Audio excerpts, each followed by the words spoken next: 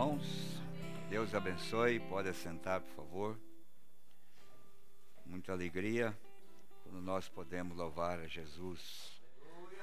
Ele é autor de tudo que nós temos alcançado. Ele tem nos dado. Ele é o doador da vida da alegria e de todas as vitórias que nós temos alcançado até aqui. Por isso nós cantamos para Ele. Sabe que os hinos são de adoração ao Senhor Jesus Cristo.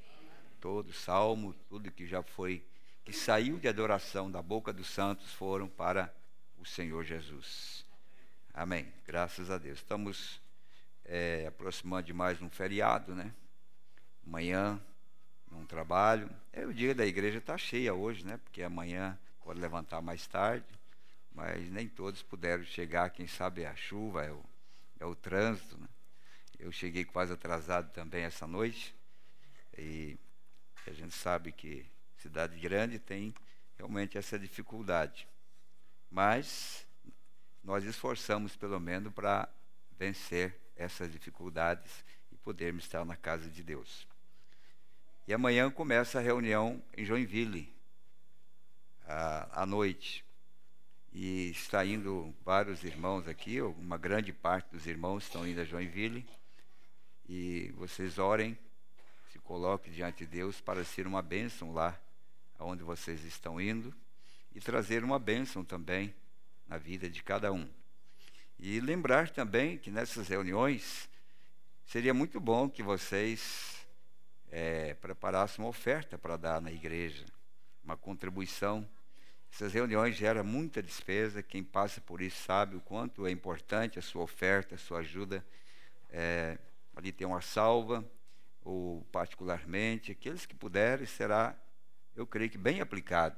Eles estarão fazendo de tudo para dar à igreja uma boa recepção aos convidados, e isso não fica de graça, né? Alguém terá que pagar a conta. Então você poderá então lembrar de fazer isso ali na igreja amanhã a partir de amanhã. E a reunião termina no domingo, meio-dia. E depois da, da, escola, nós temos o compromisso de voltar para estarmos aqui é, domingo à noite. Quem sabe é, alguém é, algum pastor vai estar conosco, né? Que já está passando um caminhante aqui, ó. Sábado no domingo à noite, né? Né, irmã? É, você concorda, irmã? A irmã Joelma concorda, né, irmã? Quando a mulher concorda, já é 50% já, viu, irmã? Pelo menos essa parte já, já está bem, né? E, mas eu queria fazer uma oração especial, muito especial, pastor Luquemba me ligou hoje e ele enfrenta uma dificuldade muito grande com a esposa, que é esquizofrênica. Quem, tem, quem já viu, já acompanhou alguém com esse tipo de problema, esquizofrenia, sabe o quanto isto é grave, o quanto isto é sofrido para uma família. Eu tive um caso desse há muitos anos atrás, ali em Vista Alegre, próximo a Beltrão. E o desenrolar, o final da história foi muito triste, né? E isso é comprovado pela ciência. E hoje ele me ligou, estava bastante triste, bem, bem mesmo assim. Eu falei para ele que a gente, a igreja hoje estaria é, num culto especial e que a gente estaria orando por ele, né? E ela fala muitas coisas assim, é, muito preocupantes. Eu gostaria que vocês ficassem em pé, né? Nós vamos orar. Irmão Maurício, podia dar o som nesse microfone aqui, por favor. Nós vamos acompanhar o pastor Maurício nesta oração. Você vai levantar a mão. Irmão, o caso dela, se Deus não pôr a mão, o final é muito triste. E ela tem um filho, de seus 14 anos aproximadamente, e o marido, né? É muito assim, uma, uma, é muito comovente. Vamos colocar diante de Deus, pedir que o Senhor Jesus possa nesta hora se lembrar daquilo que ele fez no Calvário, dando a vitória para todos os necessitados, né? Vamos orar, por favor.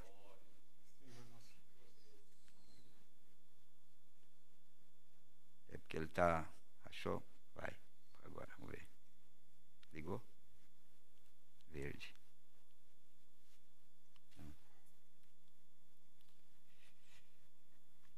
Isso aqui acontece, não se preocupa não, que isso aqui faz parte. Aí está. Senhor nosso Deus, Pai Celestial, chegamos diante de Tua presença neste momento, Senhor. Sim, Senhor Jesus. Através do Teu santo nome, Pai. Amém, Senhor. Este nome que foi dado para nós aqui nesta terra, Senhor. Sim, Senhor. A qual nós podemos ser salvos, podemos invocar, Pai. Como Sim, Senhor. Em São Marcos, Deus. capítulo 16. Este foi, Pai, a tua ordenança. Oh. Deus, Nós ajuda nós nesta chegado hora, nesses Pai. dias, Senhor, Dá-nos fé para qual vencer, podemos, Pai. Pai, ter Sim, a Senhor. completa revelação de Tua palavra, Sim, Senhor. E temos nos Lembra-te posicionado, Senhor, como a igreja esposa. E assim, Pai, podemos mãe. nesta hora também, Senhor, É um interceder demônio, Pai, por nosso irmão nesta hora que nos ligou, o ministro de Tua palavra, Pai, terra, Pai. que está, Pai, neste momento, nós, realmente do comunicando os santos, como disse em Tua direção, palavra, Pai, para vontade do Senhor, comunicarmos os santos nas nossas Sim, necessidades, Senhor Jesus. e agora, Pai, a igreja daqui de Curitiba, juntamente com todos aqueles que nos acompanham neste momento através da internet, Sim, juntamente, Pai, com, a- com o pastor, ministro, o pastor Luquemba, que está ali e pede oração em favor de sua família, da sua esposa, Sim, Senhor. especialmente. Pai. Glória a Deus. Nós oramos neste momento Sim, e cremos, confiamos em Ti, Senhor. confiamos, Pai, e pedimos, Senhor, que venha a ser feito, Pai, Sim, algo Senhor. em favor dela, Pai, neste momento, Pai. Nós Aleluia. oramos a Ti, Senhor. Sim, Senhor. Confiamos e cremos, Oh, estamos Deus. indo, Pai, diante palavra, de Ti, Senhor. Pai, como disse o Teu profeta. Santo, Chega Senhor. diante de A Deus é nossa, com as promessas que Ele Sim, tem Senhor. prometido, Pai. Sim, Senhor. Assim como foi a oração de Elias naquele dia. Sim. Deus de Abraão, o Deus de Isaac, Sim, o Senhor. Deus de Jacó. Aleluia. Nós oramos nesse momento também, Pai. sim, o Senhor. Deus de Abraão, Sim, o Senhor. Deus de Isaac, Sim, o. Deus de Jacó, Sim, o mesmo ontem, hoje e eternamente, Pai. Nós chegamos diante de Tua presença, Senhor, neste Sim, momento e colocamos esta causa, Pai, e pedimos no nome do Senhor Jesus Cristo, pedimos no nome do Senhor Sim, Jesus Senhor. Cristo, Pai. Aleluia. Neste momento, Pai, Sim, ela recebe esta bênção, recebe esta graça em nome do Senhor Jesus. Sim, Senhor. Amém, Glória. Senhor. Amém. Amém. Amém. Graças a Deus. Vamos ler as Escrituras. 1 aos Coríntios, capítulo 11.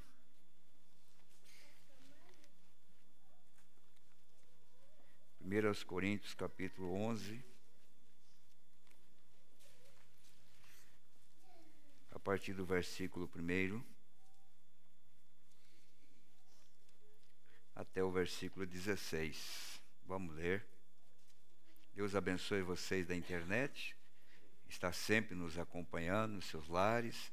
O Espírito do Senhor esteja presente em cada lar, abençoando a leitura da palavra agora e também concedendo o desejo de seus corações. A bênção que você precisa lhe seja concedido mediante a fé nesta noite. Sede meus imitadores, como também eu de Cristo.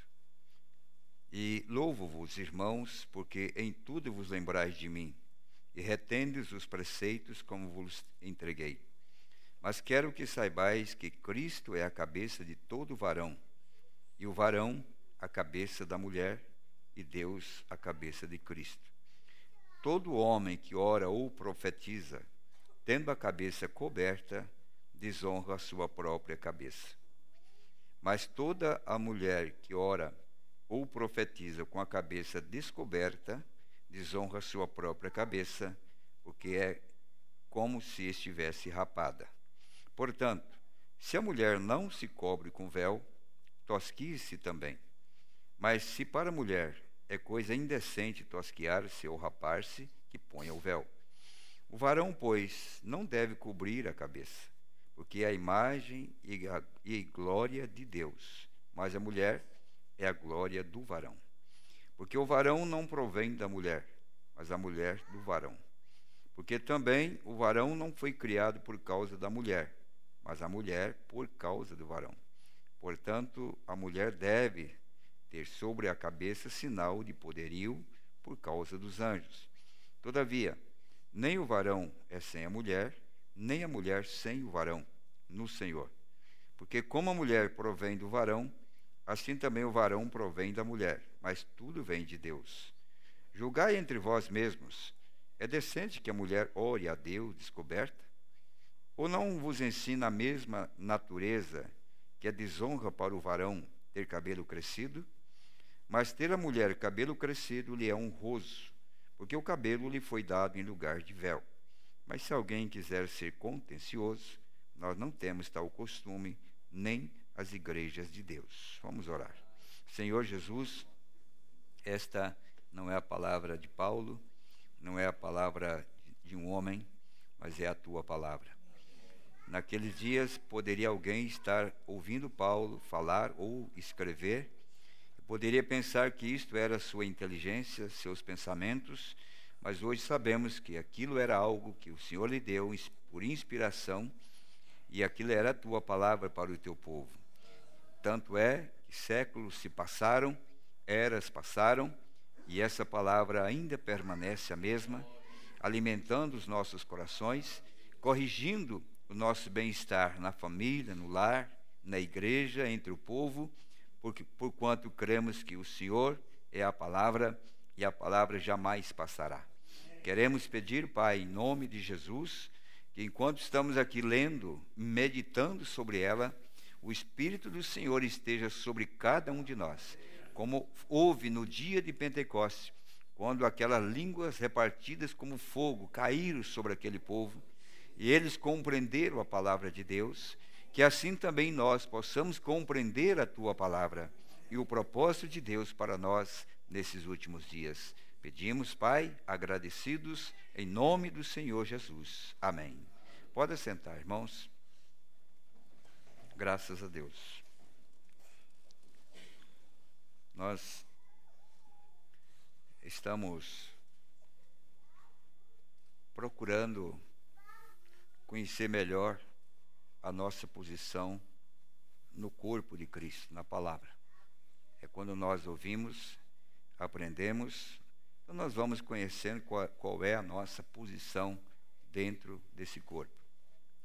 Nós sabemos que Deus só poderá ajudar o povo hoje através do ministério quíntuplo. Por quê?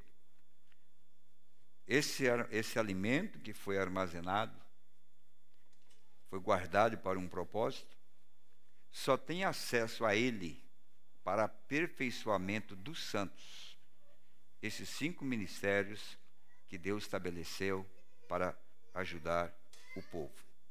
Então é necessário a participação desses dons, desses ministérios, para a edificação do corpo, para o aperfeiçoamento da igreja.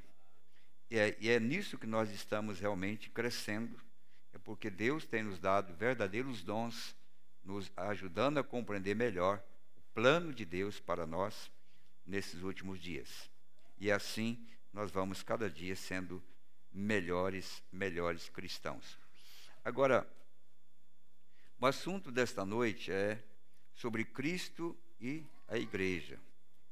Aqui nós vemos o relacionamento, a importância do homem e da mulher.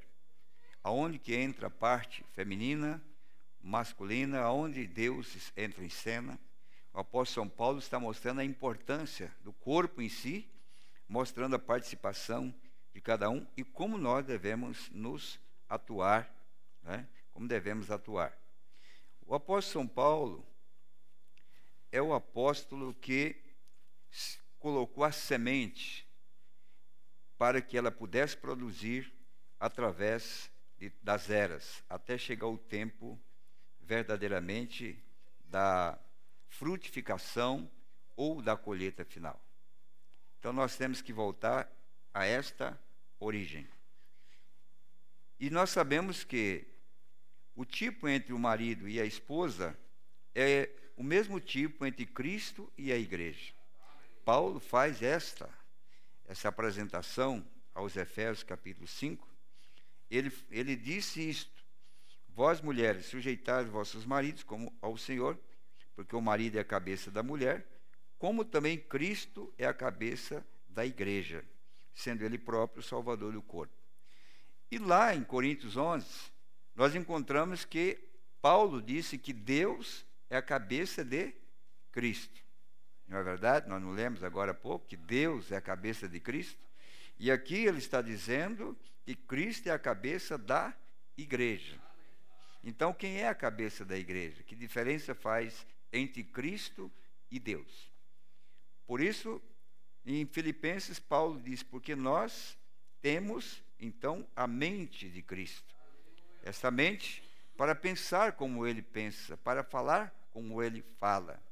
Por isso é que nós temos que ter uma mesma linguagem em Cristo Jesus, uma mesma postura em Cristo Jesus.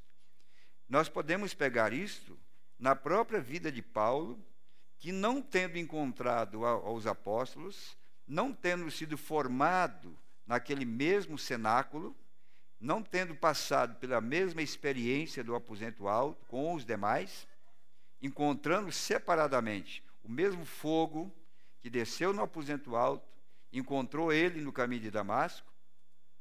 Anos depois, eu creio que três anos depois, quando Paulo encontrou a Pedro e a João, eles estavam pregando a mesma doutrina, a, a principal base das Escrituras, eles tinham um perfeito conhecimento sem que nenhum tivesse encontrado com o outro, para mostrar que quando a mente de Cristo vem em nós como cabeça, é a cabeça da igreja, nós todos temos uma só mente, porque é, é, é a mesma mente que estava em Cristo, é a mesma mente que está em mim, é a mesma mente que está em você, então nós passamos a ser um só corpo, agindo da mesma maneira. O que, que Deus está procurando fazer com a igreja.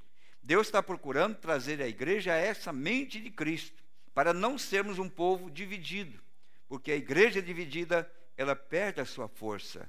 A igreja unida, ela tem força para lutar. Então Deus está procurando trazer para nós a mesma mente, a minha e a sua, porque esta é a mente de Deus. Quando esta mente de Deus toma posição no corpo de um homem, de uma mulher, ele não discute mais com a palavra. Eu não entendo, irmão, como um pregador quer discutir sobre o que o profeta falou, sendo que a mente que estava em Cristo foi transferida para o profeta de Deus. Como que um pregador pode rebater se ele tem a mesma mente de Cristo? Porque se ele tem a mesma mente de Cristo, que todos nós cremos que estava sob o profeta de Deus, como que nós vamos agir contrário se nós temos a mesma mente? Esta ação para, para, para desfazer ou para rebater o que o profeta falou, já está provando para nós que não é a mesma mente. É outra coisa que está ali. Porque se é a mesma que estava em Pedro, estava em João, estava em Paulo, quando eles se encontraram, era perfeitamente a mesma coisa. Era a mesma verdade. Que é isso que nós estamos procurando é fazer é ter essa mente de Cristo para não nós nunca discutirmos com a palavra. Amém? Esta mente para nós pensarmos iguais. Mombrana fala que eles ficaram dez dias no aposento alto. Quantos acertos, quantas orações, quem sabe quantos desacertos houveram entre eles ali, por dez dias.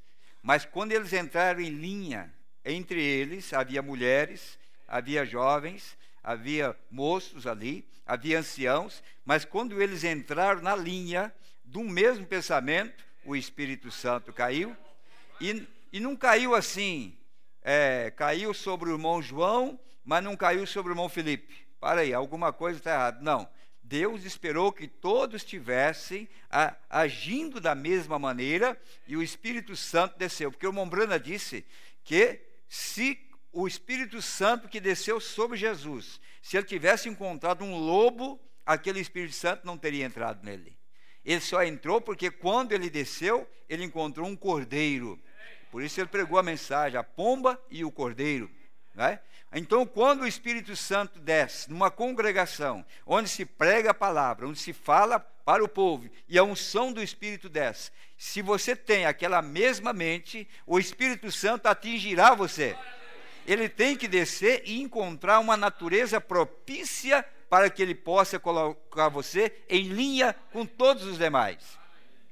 Porque nós, agora em Cristo, nós tornamos um só corpo. Amém? Um só corpo. Então eu quero falar um pouquinho dessa, dessa mente, como Deus tem preocupado conosco, irmão. Como Deus tem realmente preocupado com a sua igreja para levá-la a esta, esta unidade perfeita. Veja, na carta que Jesus escreveu para a sua igreja. Você já leu a carta que Jesus escreveu para a sua igreja? Já, né? Só para lembrar um pouquinho, o que é que, que ele deu como ênfase desta carta? Né? Como, como, que o marido escreve para a esposa? Qual é o assunto dele para a esposa? O que que, o que que levaria ele a escrever para a sua esposa? Qual seria a sua preocupação? Porque a uma verdadeira esposa, com certeza, sentiria bem em receber a carta do marido, principalmente se ele está longe. E ele se preocupou, porque essa carta ela é endereçada inteiramente para a igreja. Ela não é para o mundo. E não é para denominações, ela é especialmente para você. E o profeta, ele começa dizendo assim, olha, isso tem a ver, isso tem a ver com a palavra e com a noiva. Olha, aqui está o que eu estou tentando lhe dizer. A lei de reprodução é que cada espécie produza segundo a sua própria espécie, de acordo com Gênesis, capítulo 1, versículo 11. E disse Deus: Produza a terra erva verde, erva que dê semente, árvore frutífera que dê fruto segundo a sua espécie, cuja semente esteja nela sobre a terra. E assim foi. Qualquer que fosse a vida que estivesse na semente, saía na planta. E depois disso, no fruto. A mesmíssima lei se aplica à igreja hoje. A mesma lei da reprodução da semente natural ela se aplica hoje. Ela vai realmente produzir. Porque lá no princípio, quando aquela má semente, ela foi injetada no ventre de Eva, Deus tentou endireitar a natureza daquela semente, mas ele sabia que não era possível. Porque quando ele viu o fruto daquilo, que estava a ponto de ter o conhecimento da revelação, da, da, da, da da forma como, como Deus tinha atuado, como Deus atua, e que ele encontrou um Caim que estava adorando a Deus de uma forma errada. Deus não pegou a Caim e torceu o pescoço dele e jogou ele para um lado. Deus não faz isso. Deus espera que você ouça ele, para que mesmo você fazendo algo indevido, mas quando você para para considerar a palavra de Deus, sabendo que Deus nos amou e Ele quer que o nosso bem-estar, quando Ele encontrou aquele homem chamado Caim, adorando, que tinha vindo de uma semente errada, porque quem introduziu aquela semente foi a serpente, e uma semente errada. Mas quando Deus chegou, bondosamente, e Deus começou então a conversar com ele, dizendo: Olha, isso aqui está errado, não é desse jeito. Por que, que Caim quando ouviu o próprio Deus falar, ele não, ele não se humilhou. Ele não aceitou aquilo. Quando Deus disse, está errado. Eu vou te dar um exemplo como você deve adorar. Procure olhar para o seu irmão Abel. Veja que Deus deixou um exemplo daquilo que é certo para nós. Porque as pessoas podem errar, mas sempre Deus deixou um exemplo. Irmão Branda disse: enquanto Deus tiver um povo na terra, ele terá um exemplo para esse povo. Por isso o apóstolo São Paulo diz, sede meus imitadores como eu sou de Cristo. Irmão Branda diz, como Paulo disse, sede meus imitadores também, como eu sou de Cristo. Agora, se nós não queremos acompanhar, se nós não queremos obedecer, se nós não queremos olhar para esse exemplo que foi deixado como Abel, exemplo para Caim, que tipo de espírito temos nós? Por isso, se nós não fizermos como exemplo Abel, que foi um tipo de Cristo, e nós não fizermos como exemplo William Brana, que foi um tipo também, e nós procurarmos ajustar a nossa vida exatamente como Abel e rejeitar os conselhos de Deus, que tipo de semente está em nós? O, o, o, essa carta está dizendo aqui que tem que produzir segundo a mesma espécie. Depois, anos, quatro mil anos depois, São João capítulo 8, nós encontramos que o verdadeiro Abel, o verdadeiro Abel, o sete que se levantou, que é o sete nada mais é do que o Abel que se levantou, porque aquilo é o tipo da morte e sepultamento. Então, quando o verdadeiro Abel, sete, anos depois, quatro mil anos depois, se apresentou, ele encontrou o mesmo tipo de semente. A semente de Eva, que veio através de Abel, e a semente de Caim, que veio através da serpente. Ele encontrou quatro mil anos depois. E lá depois, o próprio Deus tentou pregar para eles. Leia na sua casa São João 8 para você ver.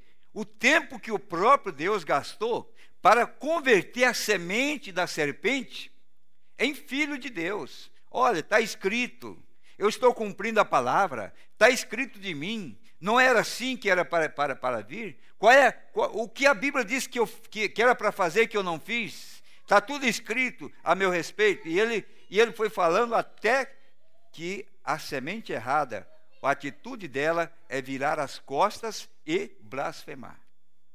É uma das atitudes erradas. Porque a atitude verdadeira ainda que ela toma decisões contraditórias, mas ela produz um fruto digno de ser observado. Pois quando o próprio José não entendeu a intervenção do anjo que veio para Maria, porque aquilo era um mistério. José era um homem santo, mas ele não tinha visita de anjo, ele não tinha visita de, de querubim, mas Maria, quando ela teve a visita de um anjo, então, e, e ela concebeu, e que ela contou o resultado ela contou o resultado dessa vinda do anjo para ela, dizendo para José, José, eu estou grávida. Qual foi a atitude de José? A Bíblia disse que ele tentou deixá-la secretamente para não difamá-la. Veja que mesmo a pessoa não entendendo a, a, coisa correta, não vendo da maneira que deveria, não compreendendo da maneira que deveria, mas a atitude dele como semente de Deus, ele deixa um testemunho, como José deixou o testemunho. Porque ele, ele não saiu difamando a Maria, ó, Diz que ela encontrou um anjo aí, eu tinha meu casamento marcado com ela, estava tudo certo, eu, eu amo essa mulher, estava tudo certinho, agora ela sai com essa história que um anjo apareceu, eu nunca vi falar tal coisa, que um anjo vai engravidar alguém. Vê se José se comprometeu o testemunho dele. A Bíblia diz que ele calou e tentou deixá-la secretamente. Um homem como esse, Deus tinha o prazer de lá aonde ele estava e dar um sonho para ele. Porque ele era um homem justo, irmão. Ele não saiu para difamar, mesmo que ele não entendia o sobrenatural, não entendia a visita do anjo, não entendia a intervenção de Deus na máscara chamado Gabriel. Ele não entendia, mas ele se calou, foi para a sua casa, dormir. Deus disse: Não, eu, eu não vou deixar José assim, porque ele é um homem justo. Eu vou lá e vou dizer para ele: Olha, José, nem que você não entenda o que aconteceu, mas o que está gerado nela é do Espírito Santo. Fique, fique em paz. E ele simplesmente ouviu. Essa foi a atitude da semente eleita, porque a semente eleita, ele pode até abandonar a verdade, porque você estava numa denominação até o dia que você encontrou a mensagem da hora. Você estava no mundo até o dia que Deus falou no teu ouvido e você creu que ele estava ali e você se dobrou para ele e aceitou a sua liderança e hoje está aqui para dar testemunho.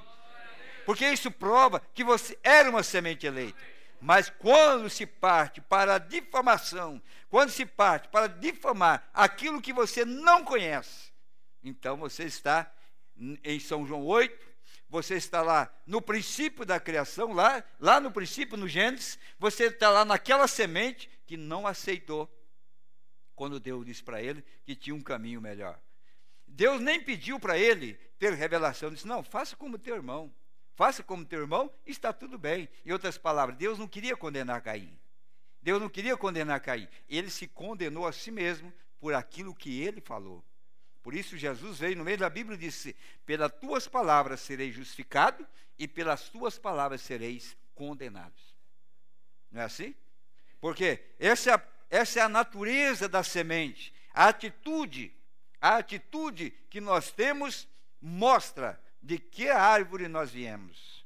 Mesmo que nós não entendemos, mas a nossa natureza, ela lá dentro, a semente já dá algo diferente para nós, já mostra para nós algo inexplicável, mas está lá dentro. Está lá dentro. Mesmo na sua ignorância, você não fala determinadas besteiras. Deus não permite. Não, Deus não permite. Mesmo na sua ignorância. Então, veja aqui o que, o que a Bíblia diz, o que o profeta diz qualquer que seja a semente que deu início à igreja, sairá e será como a semente original, porque é a mesma semente. Nesses últimos dias, a verdadeira igreja noiva, a semente de Cristo. Quem que é a noiva? É a semente de Cristo, não é? Quando essa noiva, ela é manifestada, que tipo de natureza ela tem? Qual é a mente que ela terá? Se a própria natureza da semente que foi plantada vai produzir no futuro, e essa noiva, diz o profeta, é a semente de Cristo. Então ela tem que ser Cristo. Então ela tem que ser Cristo novamente. Amém? Ele disse: olha, ela, a semente de Cristo chegará à pedra de coroa. Chegará à pedra de coroa, à pedra de cabeça. Agora, esse ministério quíntuplo é justamente para quê? Para o aperfeiçoamento dos santos. É santo, mas precisa ser aperfeiçoado. E como que ele é aperfeiçoado? Com as ferramentas de Deus. Esses cinco ministérios que Deus deu para aperfeiçoar esses santos. Nós já éramos santos, separados por Deus, desde antes da fundação do mundo, porque a, o profeta diz que a palavra santo quer dizer separado. Mas quando o Espírito Santo vem a nós, nós somos separados e colocados para serviço. Então, para que Deus possa nos usar, nós passamos pela separação e agora fomos colocados em serviço do Senhor. Então veja, irmão, chegará a pedra de cabeça e ela será a super igreja. Amém? No dia de Paulo, nós encontramos que era o capítulo semente das sete eras da igreja. Nós encontramos que Jesus encontrou Paulo no caminho de Damasco. Mas agora, na última, no último tempo, quando ele próprio é jogado pelo lado de fora, quem é que desce? Mombrana disse que ela chegaria à pedra de cabeça. Olha a cabeça ali, ó. Ela chegaria. Irineu não viu isso. Martim, Lutero, Wesley, nenhum deles viu isso. Nenhum deles chegou a isto. Mas quando chegou o tempo certo da igreja ter a mente de Cristo e ela ser sujeita à palavra de Deus, nós não estamos sendo sujeitos a uma igreja, não estamos sujeitando a um bispo, não estamos sujeitando a um apóstolo, nós estamos sujeitando a uma Bíblia, a um Deus que tem se manifestado em ministérios levantados por Ele, para que essa igreja seja aperfeiçoada. Então não é submissão a um homem, é um homem Cristo, porque a Bíblia diz que Cristo é a cabeça da igreja. Nunca disse que, que o Mombrano é a cabeça da igreja, que o José é a cabeça da igreja. Disse não, Cristo é a cabeça da igreja. E se ela é a cabeça, ela terá o governo desse corpo. Ela vai obedecer esse cabeça. Não é verdade? Então, é o que nós estamos é o que nós estamos vendo. O que acontece? Se nós não temos a mente de Cristo, como eu, ontem eu estava falando através da internet, hoje estava conversando com irmão Aureni ali. É, veja bem, se quando a palavra se abre, todos mistérios seriam revelados, conforme a promessa de Deus. E todos nós sabemos que foi revelado. Se você rejeita a revelação desta palavra, como é que você conhece um verdadeiro pastor? Que que você, como é que você vai medir um pastor agora? Como é que você vai medir que ele é um homem de Deus ou não é um homem de Deus, se não lhe foi dado a revelação, que lhe daria o conhecimento? Porque foi a revelação que diz que Jesus era o Cristo, o Filho de Deus vivo. Então é a revelação que diz que um homem é um pastor, ele é o seu pastor, ou ele é um profeta, ou ele é um evangelista. É a revelação que posiciona o homem dentro daquela condição para exercer aquele ministério capaz de aperfeiçoar os santos.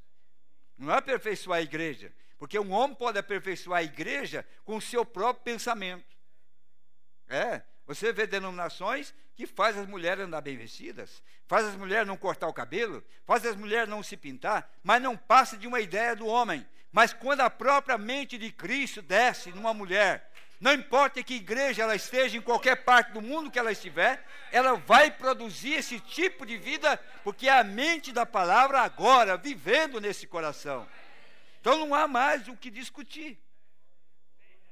Agora, se isto vem, a revelação vem para você se posicionar por um homem que prega a palavra, e você se põe ao lado de um homem que prega a palavra, que foi a decisão de Pedro. Para quem iremos nós? Tu tens palavra de vida eterna. Ele tinha a revelação que não havia ninguém mais que tivesse algo melhor do que Jesus. Embora ele não entendia, embora ele não compreendia aquele mistério, comer carne, beber sangue, mas, mas ele olhou para Jesus e disse: Olha, tem uma coisa, não tem ninguém na terra a quem eu possa filiar minha alma a não ser você, a não ser o Senhor. Porque ele sabia que ali estava a resposta que ele precisava. Que âncora, irmão. Que âncora. Aí então, se a abertura da palavra, a, a revelação dos selos, vai colocar, sabe quem? Vai colocar a igreja no lugar e vai colocar os pastores no canto da parede também. Porque a igreja que tiver a revelação, ela provará os falsos apóstolos, ela provará os falsos pastores, ela provará os falsos evangelistas. Como que ela provará? Porque essa mente de Cristo que está nela, ela conhecerá a sua palavra, única palavra, como a verdadeira palavra de Deus. E ela não vai se comprometer, ela vai permanecer fiel. Então, o que que dá isso? É porque a igreja, muitas vezes, elas são simpatizantes, ela abraça um homem e não a palavra. Aí onde está a questão? Por quê? Quando você tem essa revelação, a Bíblia se abriu para você e você conhece essa verdade, você não vai ver um verdadeiro pastor fazendo o casamento de um homem divorciado. Me desculpe se alguém é divorciado aqui, eu não estou falando para você, estou falando da palavra. Porque ele não vai fazer, porque ele vai. A mente de Cristo, então não é a mente de Cristo. Porque a mente de Cristo que estava em Paulo agiu dessa maneira. A mente de Cristo que estava no irmão agiu dessa maneira. Então, se essa mente de Cristo está em mim, tem que agir da mesma maneira. Tem que ser a totalidade da palavra de Deus. Ou então, nós temos uma mente diferente. Vê se o apóstolo São Paulo precisou que Pedro instruísse ele sobre o batismo, sobre a ceia, sobre essas coisas, sobre casamento. Não. Olha, irmão, o próprio, o próprio Pedro, que tinha escutado Jesus falar, São Mateus capítulo 19, o próprio Pedro, o próprio João, que tinha escutado Jesus falar sobre casamento, agora encontra um Paulo mais tarde lá, falando de casamento e divórcio, Romanos capítulo 8, 1 Coríntios capítulo 7, e você não vê nenhum apóstolo, nenhum deles chamando Pedro, ô, Paulo, vem cá, para aí, eu tenho uma revelaçãozinha diferente aqui, viu? O que você está pregando aí, não é bem assim como você está pregando, eu tenho algo diferente, não. O próprio Pedro diz, Paulo falou coisas difíceis de entender, mas ele falou a verdade, em outras palavras. Ele falou aquilo que realmente é a verdade. Por isso, um homem de Deus, mesmo que ele entenda que aquilo é difícil, ele diz, mas isto é a verdade. Então, a igreja, na revelação da palavra, na manifestação da, da, da natureza da semente, ela vai agir de acordo com a semente que foi plantada dentro dela. Ela não vai discutir com a Bíblia, porque é a mesma mente, é a mesma natureza. É a mesma natureza? O profeta diz que Deus vem buscar uma igreja que tem o mesmo caráter dele.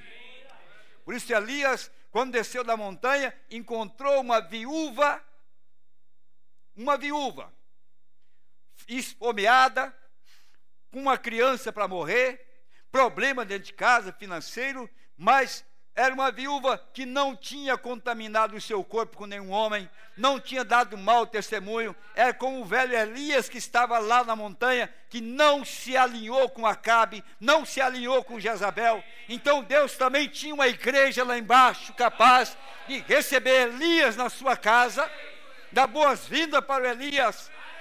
Naquela casa, Deus teve entrada para ela, porque encontrou uma mulher de caráter. Quem sabe quantas irmãs, quantas irmãs ou quantas outras irmãs vizinhas daquela mulher chegou na, na casa de, daquela viúva e disse: Ó, oh, irmã, vai lá na casa de Acabe. É só você dizer que você é contra Elias, que ele vai te ajudar. Ele está ajudando todo mundo que é contra Elias. Porque é o maior inimigo dele. Vai lá, pega um pacote de farinha, pega uma cesta básica, pega isso e aquilo. Não, ela estava esperando no seu único Salvador. Se Deus não me der a coisa da maneira correta, eu também não quero algo que não venha das mãos de Deus. Esse é o tipo de igreja. Deus dá para nós a coisa correta, ou nós não queremos nada que seja incorreto. Nem fanatismo, nem liberalismo, nem radicalismo, mas Deus tem uma coisa central que leva o seu povo a agir de uma maneira correta, porque é a natureza da semente. Que, é que nós estamos, é o que nós estamos vendo. Não é? Então Paulo diz assim, ó, no versículo 23, ele diz assim: Porque o marido é a cabeça da mulher, como também Cristo é a cabeça da igreja, sendo ele próprio o salvador do corpo. Aí lá, no capítulo 20, é, no capítulo, no versículo é, 20, 32, ele diz: Grande é esse mistério. Qual? Entre marido e mulher? Não. Não é disso que o, que o mistério é entre marido e mulher. Grande é esse mistério. Digo, porém, a respeito de Cristo e da igreja. De Cristo e da igreja. É o que o profeta está dizendo aqui. Ó. Ela será a super igreja. Quando? No milênio? No milênio é ele que é super. Porque quem vai estar no milênio é ele. Agora é a hora que ela tem que reinar. A hora da super igreja é agora. Porque no milênio ele próprio está sentado no trono de Davi. Não é assim que a Bíblia disse? Não é a promessa de Deus? Mas Jesus disse: aquele que vencer se assentará comigo no meu trono. Nós estamos assentados no trono de quem se nós somos vencedores hoje? Foi a promessa que ele fez para nós, se nós vencêssemos o quê? Falsos ungidos, falsas doutrinas, falso ensinamento, falsas, falso, falso e falso. Jesus disse: se vocês vencerem, vocês assentarão no meu trono. Por isso, Paulo, naquele dia, disse: Nós já estamos em lugares celestiais em Cristo Jesus. Então, onde nós estamos sentados nessa noite? Aí eu pergunto: aí você chega cambaleando, irmão, procurando o trono de, o trono de Jesus e chega lá e encontra uma mulher sentada no trono lá. Opa, mas ele não disse que era ele, o trono não era dele, não, ele disse: quem vencer assenta no meu trono. Então, se você sair hoje procurando o trono, aonde ele está sentado, o trono de misericórdia, o trono de graça, o trono de, da, do gozo, da paz, da alegria, você vai encontrar uma mulher assentada, porque ela é mais do que vencedora. Ela está se tornando a super raça agora. É o tempo que nós estamos vivendo. Eles estão procurando a Cristo assentado no trono, mas ele diz que os vencedores sentariam no seu trono. Por isso os trinitarianos chegam no céu procurando o trono de Deus e procura para um lado, chega lá, vê um Jesus sentado lá. Oh, mas que negócio é esse? Não, ele não falou?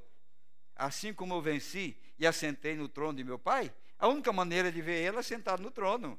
Não tem pai ali fora dele. Ele já sentou no trono. E essa promessa ele deu para nós que os vencedores assentaria no trono. Para que, que se assenta no trono? Você acha que um aspirante sentaria no trono? Não. Ou é o rei ou é a rainha. É para reinar. E se você ler a história da igreja, o profeta diz que nós já estamos reinando com Cristo. Nós já estamos reinando com Cristo hoje. Reinando o quê? Nós estamos no mundo caído. Mas ainda quem manda nesse mundo não é o diabo, não. Quem manda nesse mundo é o povo de Deus. Porque o apóstolo São Paulo disse que quem retém essas coisas é o Espírito Santo, que está guardado. O Espírito Santo que está dentro de um coração humano ainda, que pode chorar, que pode sentir dor, mas o Espírito Santo está retendo toda a ira de Deus, porque Ele está nela. Amém? Olha, chegará, será a super igreja uma super raça. Agora você pensa que essa super raça, irmão, é para chegar e. É, é, o que os judeus pensavam. Não, a promessa do Messias, se o próprio precursor diz que vai desmanchar essa montanha e fazer nela, levantar esse vale e baixar essa montanha, você imagina o outro que vier depois dele. Se o próprio é, precursor, que está prometido lá em Isaías 40, vai baixar o monte e levantar o vale, imagina quando vier então esse, o que, que ele não vai fazer? Quando se fala de super raça, você tem que olhar a raça mais pura que já esteve na terra. Jesus Cristo. Porque ali não tinha mistura nenhuma. Ali não tinha nada misturado ali, era pura raça de Deus. Ele criou o próprio, o próprio célula no corpo de Maria, multiplicou para morar dentro daquele corpo. Aquilo era uma super raça. Agora, o que é a super raça hoje? Para desmanchar ah, os castelos, para derrubar o templo de, da, da, da, Babilônia, para destruir Roma, para ir lá no, no, na, na, na, Praça de São Pedro, lá, subir num caixote, desafiar o Papa, dizendo que ele é besta. E não, não, não. Aquela super raça, quando ela esteve aqui na terra, e é o material que nós somos feitos hoje, quando ele esteve aqui, ele aguentou um tapa do lado, ele aguentou cuspe no rosto, ele aguentou crítica, ele aguentou zombaria, e ele aguentou e caminhou e foi até o último momento sofrendo, e da sua boca não saiu nada que pudesse contaminar o seu testemunho. Essa é a super raça que nós estamos querendo hoje. Uma raça que sabe suportar, uma raça que sabe se comportar diante das, das, das, das variedades dos problemas que nos cercam, mas que dê testemunho. Deus, o, o judeu disse: Olha, nós pensávamos que o Senhor ia devolver o reino a Israel agora, destruir Caifás, Anás, que está aí ó, batendo, destruindo, cortou até a cabeça de João. Parece que Jesus não fez nada, irmão. Parece que era um homem fraco. Um dos maiores amigos, João, que o precursor, a, a, a, é, é, Herodes lá, é, Herodias mandou cortar a cabeça dele. O que, que Jesus fez por isso? Alguém podia pensar, Deus, o senhor vai lá, o senhor vai apontar o dedo para, para Herodías e vai dar um câncer nela. Ela vai morrer, cair nos pedaços lá. E seria o poder, o homem seria glorificado. O poder de Deus não é como o homem está pensando. O poder de Deus não é como o homem quer. Ele poderia ter destruído aquela mulher. Ele poderia ter destruído, sabe quem? A serpente antes dela colocar a semente em Eva. Ele poderia ou não poderia? Ele saberia tudo isso, mas tinha um propósito para todas as coisas. Tem um propósito de Deus fazer nós a super raça hoje. Não da maneira que nós pensamos, mas da maneira que Ele tem determinado. Então, olha a super raça. À medida que se aproxima dele. Então, essa super raça é agora. Se aproximando dele. Né? Essa é a carta de Deus para nós.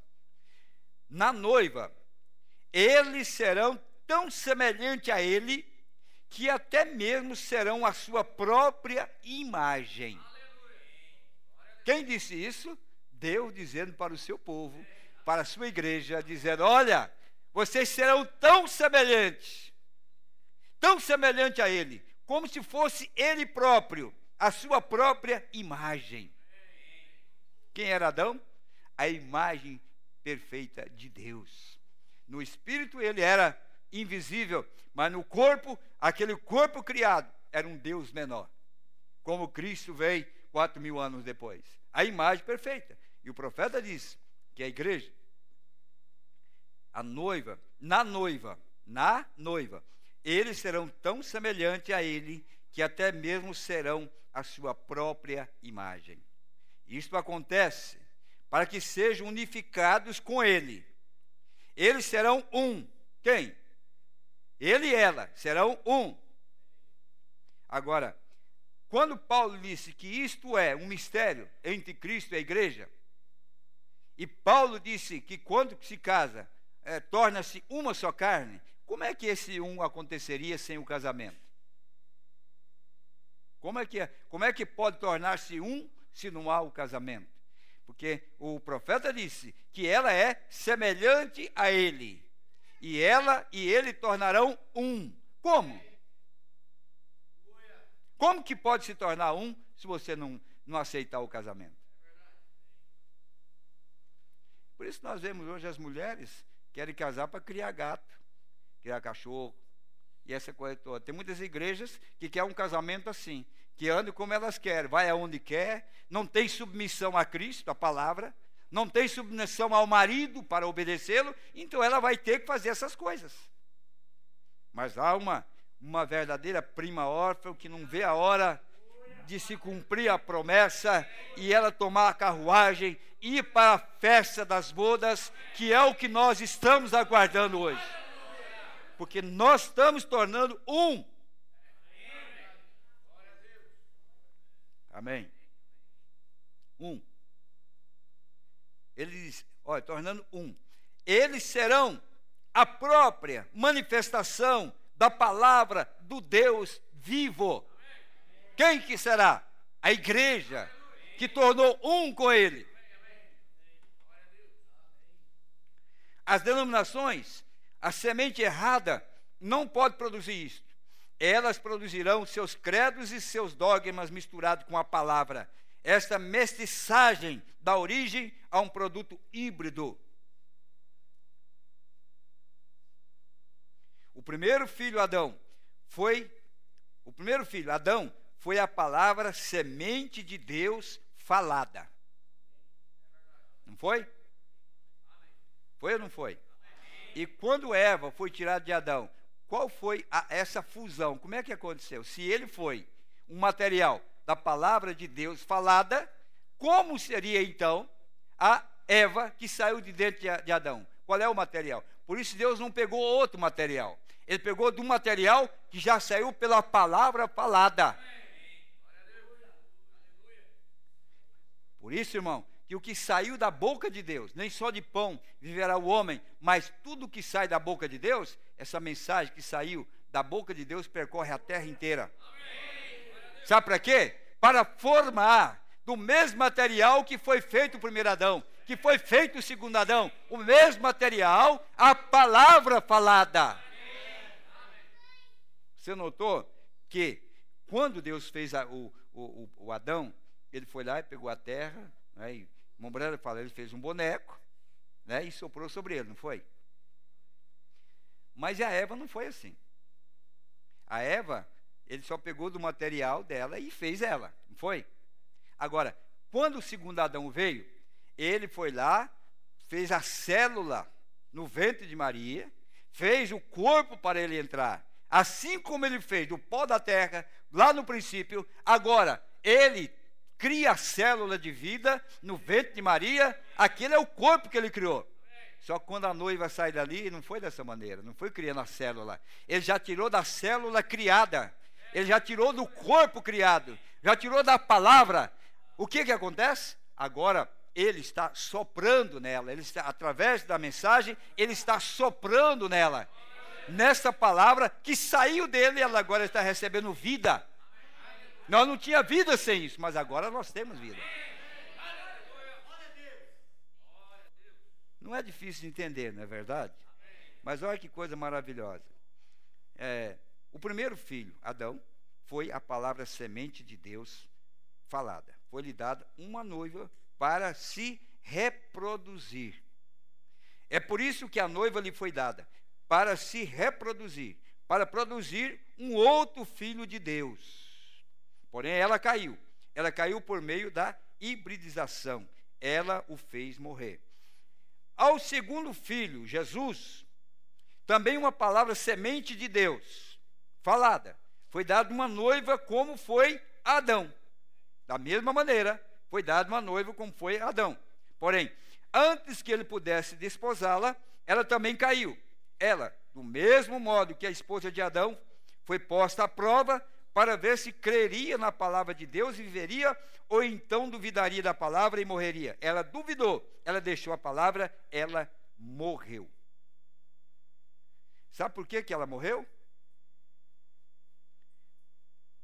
Porque a palavra que saiu da boca de Deus disse: no dia que vocês tocar nessa árvore, vocês morrerão, ou você morrerá. Mas o diabo disse: não, não é bem assim. Apenas você vai conhecer um pouco mais. Não é o mesmo espírito que está hoje? Não é bem assim que o profeta falou, não. Mas é bem assim, sim. É bem assim que o profeta falou. É da maneira que ele falou. É da maneira que está escrito. É da maneira que ele falou. Essa primeira Eva caiu, a segunda Eva caiu, mas há uma promessa de uma Eva que não vai cair. Sabe por que, ela não vai cair? Porque ela aprendeu a viver de toda palavra que sai da boca de Deus. Ah, mas quando o anjo disse lá, uh, Apocalipse 10, coma o livro, João disse: para aí, para aí, anjo. Não, tem umas coisinhas que o profeta falou aí que não vai dar para engolir, não. Eu vou, deixar, eu, vou, eu vou separar um pouquinho. Casamento e divórcio está muito problemático. União invisível da noiva. Algumas coisas. Para aí, deixa eu primeiro selecionar algumas coisinhas que eu vou deixar de lado. Não. João é o tipo de quem? João é o tipo da noiva. Quando lhe foi dada a palavra para comer o livro, ele não viu a hora de engolir tudo aquilo, colocar tudo e engolir.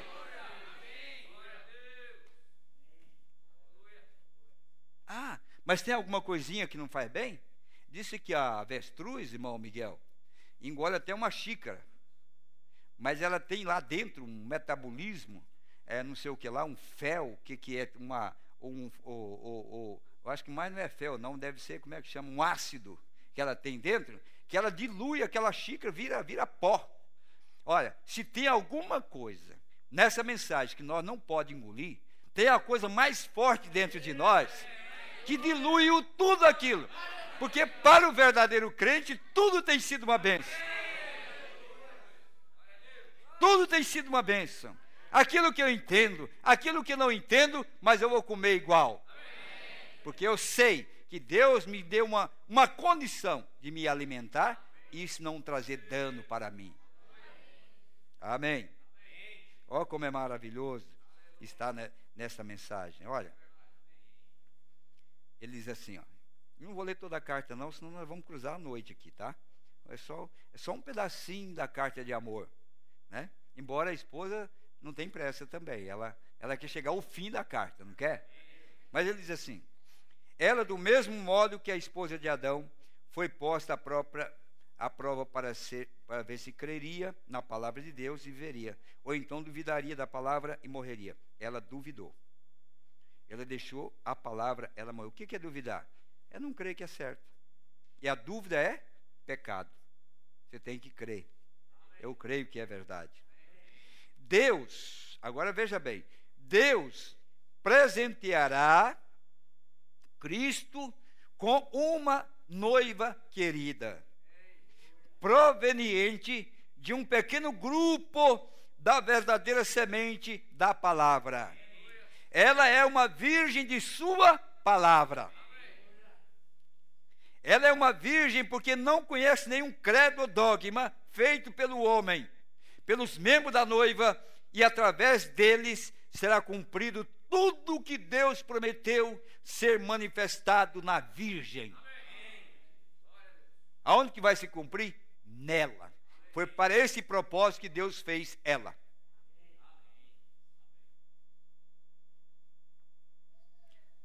A palavra de promessa veio à Virgem Maria, mas essa palavra de promessa era para ele mesmo ser manifestado.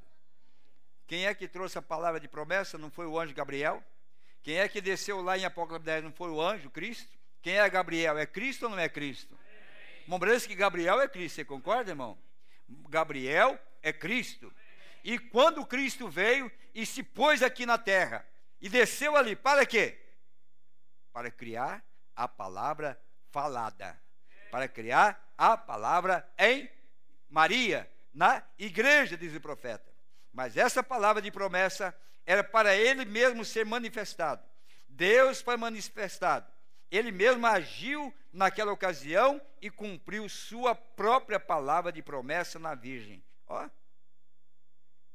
ele está dizendo que foi Deus que veio para Maria. Ele mesmo agiu para cumprir a, a palavra de promessa.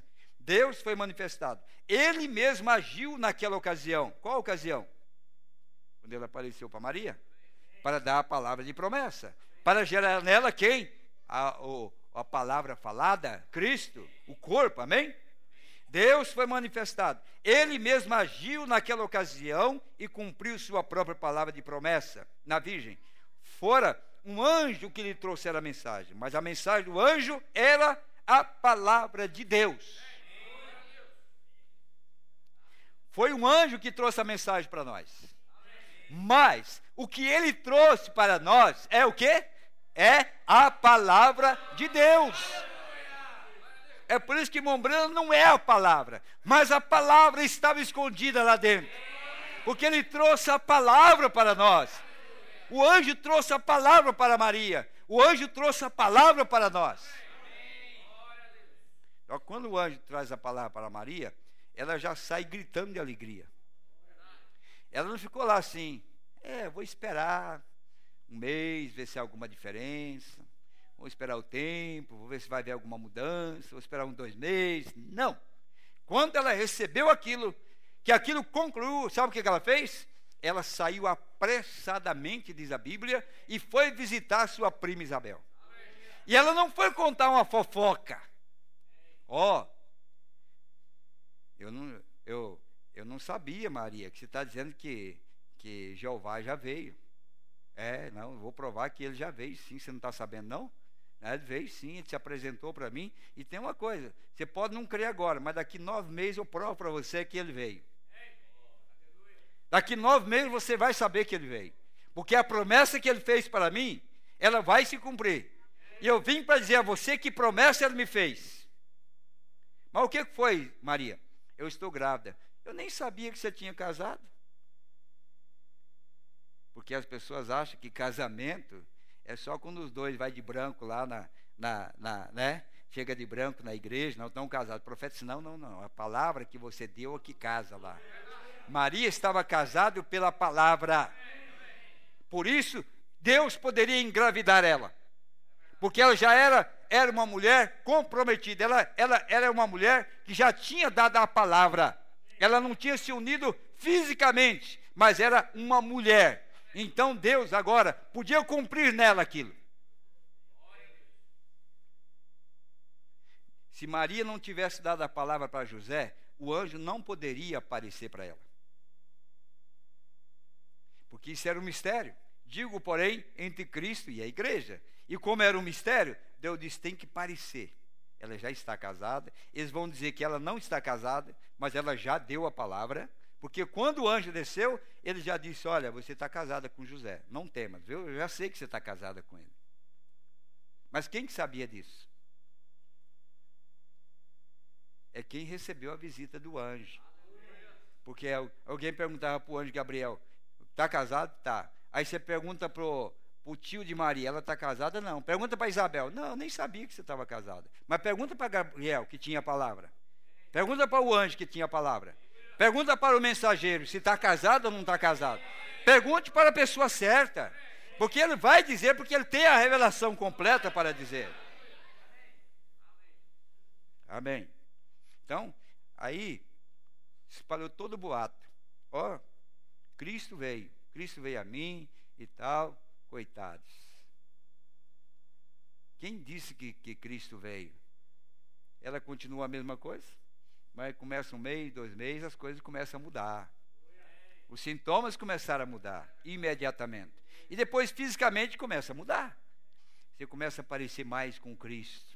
Natureza, paciência, temperança, piedade, amor fraternal, é fé, virtude. Você começa a parecer com Cristo porque os ingredientes da natureza do Cordeiro agora foi formado dentro de você e agora essa semente está produzindo segundo a sua espécie. Então agora você está parecendo com Cristo mesmo. Porque esses são os frutos que mostram essa árvore, a árvore da vida que está dentro de você, com sete naturezas. Aí pode que eles não vejam por fora, irmão. Mas quando conversar com você, diz: não, ele é um homem transformado, uma mulher transformada, porque realmente algo aconteceu. Amém. Então veja. Fora um anjo que lhe trouxera a mensagem. Mas a mensagem do anjo era a palavra de Deus. Isaías 9,6. Ele cumpriu, naquela ocasião, tudo o que estava escrito dele, porque ele, ela aceitou a palavra dele para si. Por que, que se cumpriu? Porque ela aceitou a palavra do anjo para ela. Então Deus cumpriu. E se ela dissesse não? Os membros da noiva virgem o amarão e terão os potenciais dele, porque recebeu a ele os potenciais dele, pois ele é a cabeça deles. Uma moça solteira tem cabeça? Mombrana diz que não tem. Mombrana diz que cabeça é para mulher casada. Não é verdade? Porque quando ela casa, a Bíblia diz que o marido é a cabeça da mulher. E aqui, quando essa carta é escrito, já está dizendo ela que ela tem uma cabeça. Olha, os membros da noiva virgem o amarão e terão os potenciais dele, pois ele é a cabeça deles. Então, se não houve casamento, a cabeça não desceu, não houve casamento, como é que você vai engravidar? Como é que você vai receber a semente? Deus não é fornicário. Deus põe a semente na sua própria mulher. Assim como escreveu o Velho Testamento que o homem tem que ser casado para colocar a semente na mulher, Cristo também cumpre a sua palavra, porque ele não poderia dar uma palavra e cumprir outra coisa, ele tem que cumprir a maneira que ele escreveu, tem que cumprir. E aqui ele está dizendo aqui, os membros da noiva, virgem, o amarão. Não está falando os membros do tabernáculo, os membros da mensagem, os membros da noiva, virgem, o amarão. Aí tem que uma identificação de quem é esses membros. E terão os potenciais dele. Mombrana, é, irmão, a Bíblia é, fala uma linguagem que você tem que ser espiritual, ou você tem que pedir que Deus te ajude você entender. Ela fala de uma, de uma, de uma maneira, uma, uma linguagem, né? Assim, então, ó, veja bem, o amarão e terão os potenciais dele. Os potenciais dele. Mombrana disse: se você me pedir uma semente de carvalho, um pé de carvalho, e eu te der uma semente de carvalho, ele disse: potencialmente eu dei um pé de carvalho. Não é verdade? E se isso é o potencial dele, o genes que entrou pela visita do anjo, potencialmente o que, que é isso? Que, que nós seremos então? potencialmente nós seremos Ele. Por quê? Uma semente de carvalho gerará um pé de carvalho. Uma semente de Cristo terá que gerar Cristo também. Porque é o que a Bíblia está dizendo, amém?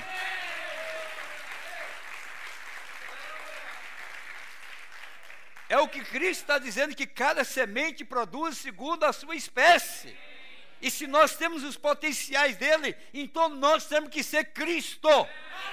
Temos que ser. Ou do contrário, a semente que veio, trazida pelo anjo, não é. Mas se for, você tem que ser Cristo. Amém. Pois ele é. Aqui, irmão, ele já está dizendo que ele é a cabeça. E todo poder pertence a ele.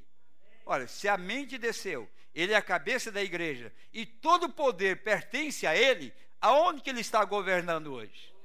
Se o poder está na cabeça e a cabeça está na igreja, aonde está o poder hoje? Ele está mostrando que seria uma super raça. Eles são sujeitos a ele, assim como os membros de nosso corpo são sujeitos à nossa cabeça. Amém.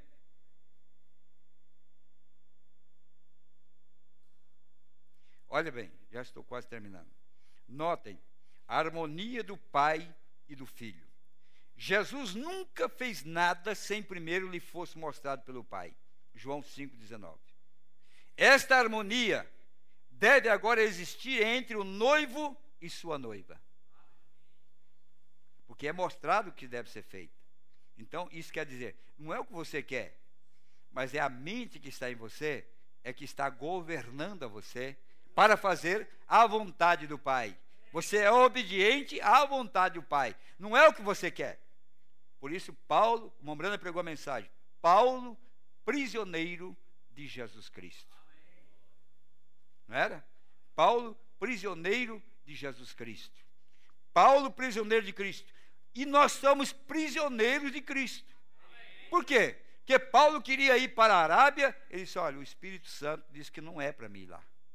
Isso é ser sujeito a Cristo. O marido não quer, a esposa não faz. Não, não faz. De forma nenhuma. Se ele não gosta de quiabo igual eu, ela procurará fazer quando eu não estiver em casa. Porque ela é submissa. Ela sabe o que, o que é que é agradar o esposo.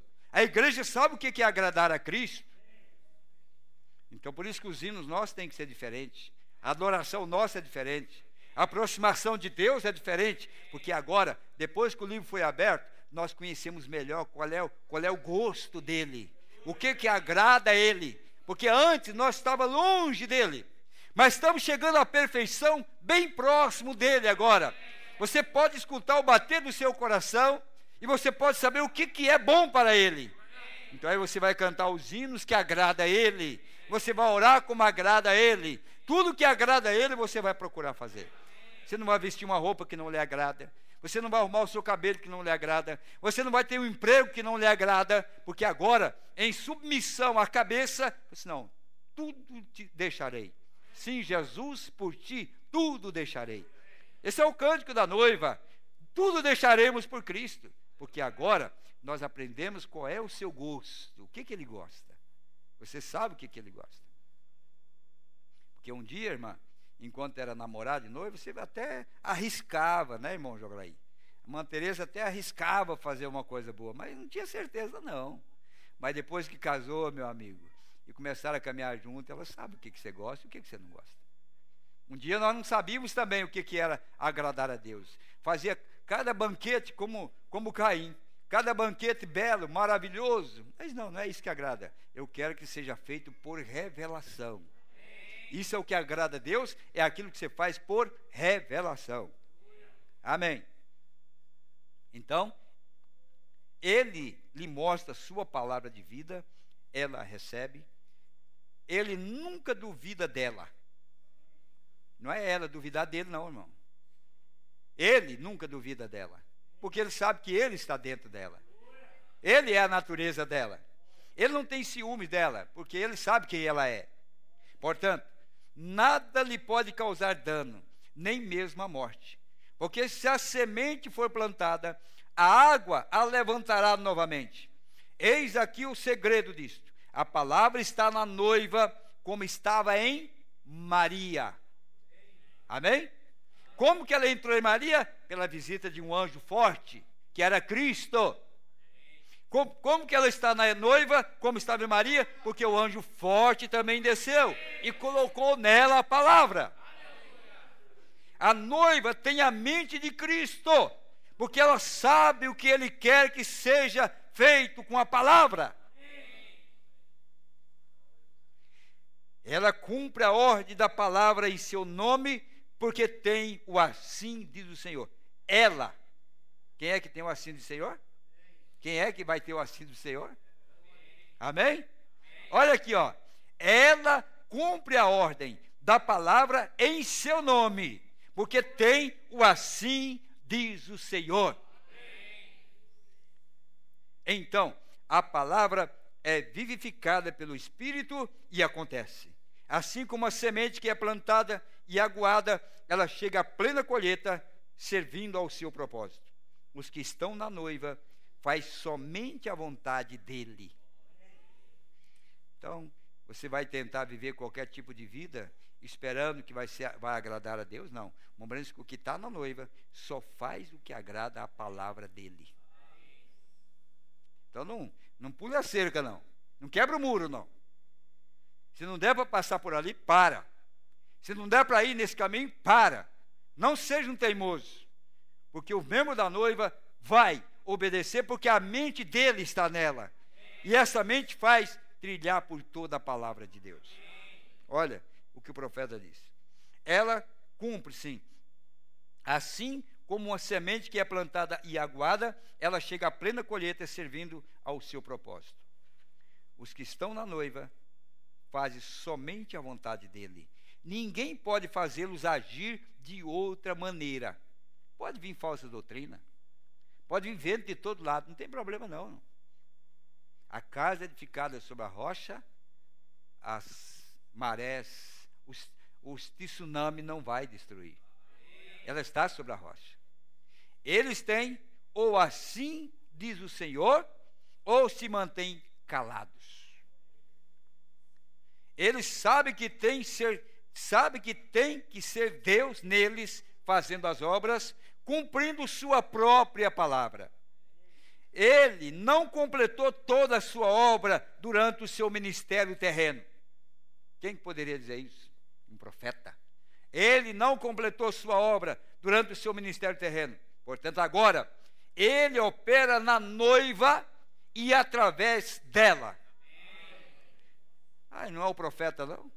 Não quer Deus usar só o profeta? Não, o profeta disse que ele vai operar nela. O profeta foi apenas o primeiro molho movido, mas tem uma lavoura inteira para produzir. Tem uma grande lavoura para produzir, porque a promessa é: veja o que o profeta disse. Ela não, ele não completou toda a sua obra durante seu ministério terreno, portanto, agora ele opera na noiva e através dela. Ela sabe disso. Você sabe? Por que, que você sabe? Porque Cristo, mistério de Deus revelado, o profeta disse que ele revelou o segredo dele para ela. Que ele estava sussurrando o segredo para ela. O profeta disse: ela sabe disso. Porque não era tempo ainda dele fazer certas coisas que ele deve fazer agora. Porém, agora ele cumprirá através da noiva esta obra que ele deixou para esse tempo específico. Aí a carta continua. Mas só até aqui você já sabe o, quanto ela é importante para nós. Amém? Não é maravilhoso? Nós estamos reconhecendo quem é o nosso marido. Nós estamos reconhecendo agora quem é o nosso marido. Como é que ele se manifestou? Como é que ele se introduziu em nós? Como é que ele nos chamou para ser um com ele? Nós estamos conhecendo isso agora. Mas não para fazer a nossa vontade, a vontade dele. Mombrana disse assim: Eu tenho fé para ressuscitar qualquer morto. Você já leu isso? Eu tenho fé, mas eu só posso fazer se ele me mostrar para fazer. A noiva não fará nada até que Deus mostre para ela fazer. Porque isso está prometido. Quando ele mostrar para fazer, ela irá fazer. É por isso que você não vê os membros da noiva com, com besteira para lá e para cá, agindo de uma maneira incoerente, uma, uma maneira irresponsável com mensagens irresponsáveis, fazendo proselitismo. Não. Você vê um povo consciente e diz: não, só vou dar um passo se ele quer que eu dê esse passo. Lembrando, se eu tenho fé para ressuscitar qualquer morto, mas quantos mortos ele ressuscitou? Comprovadamente? Cinco. Não é isso? Esse, mas se Deus mostrasse para mim agora, vai lá na sepultura de George Washington, que morreu lá, um dos primeiros, segundo presidente, o primeiro presidente. Ele disse: Eu anunciaria para toda a América e todo mundo: olha, tal hora eu estarei no cemitério e vocês vão ver o George Washington se levantar. Isso, mas Deus tem que mostrar. Por isso a noiva ela aprende a ser submissa à vontade de Deus. O diabo quer, o diabo quer forçar. Quando ele vê que o poder está ali, ele disse: faça dessas pedras pães para você. Ele sabia que Jesus podia fazer.